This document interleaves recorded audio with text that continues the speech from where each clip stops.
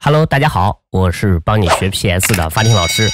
这期影片主要给大家分享一下 Photoshop 里面图层样式的使用方法。那到底什么叫做图层样式？你要记住，它是独立于图层之外的效果渲染。那什么意思呢？如果我们对一个图层去施加图层意思呢？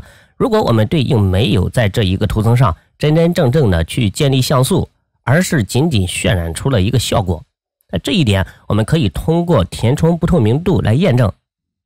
那现在有这样一个图片，如果我想在这里去打上文字，我就可以切换到文本工具，在这里点击一下，出现光标之后，直接就可以进行输入。在这里，我给大家输入一下，发听老师输入完毕，点击属性栏这里的对号，直接就可以了。适当给它移动一下位置，把它放到这样一个地方。那接下来我们就可以去验证这里的填充不透明度。怎样去调出图层样式呢？我们可以双击图层右侧空白的区域，一双击直接就可以调出图层样式的对话框。那在这里有很多的样式，你可以去选择。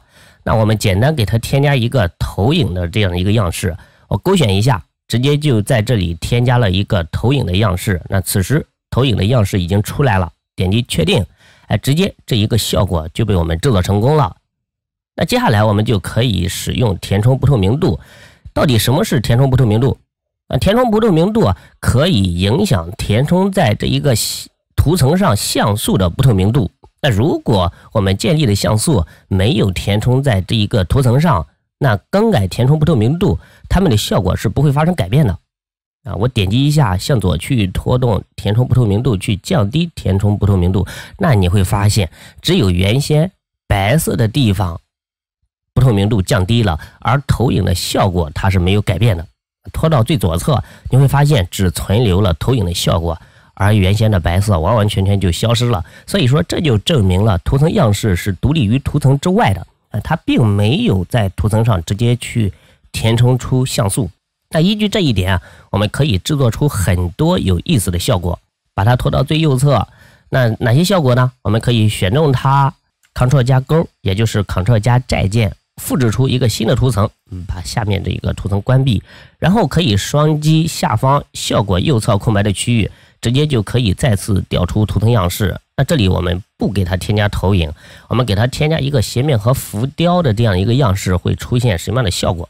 啊，勾选一下斜面和浮雕，你会发现斜面和浮雕的效果就出来了。那此时去降低填充不透明度。哦，你会发现啊，直接就制作出了这样的压痕名片的效果，直接点击确定，这样效果就出来了。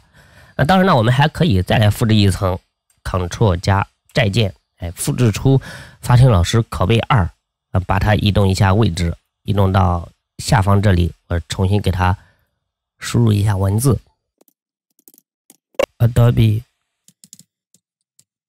Photoshop 教学。OK，这样我就输入成功了，把它放到左侧这里，Adobe Photoshop 教学，那就法庭老师 Adobe Photoshop 教学。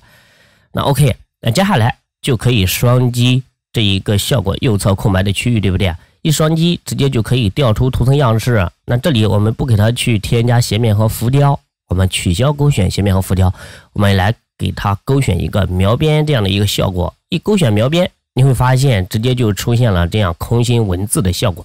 为什么呢？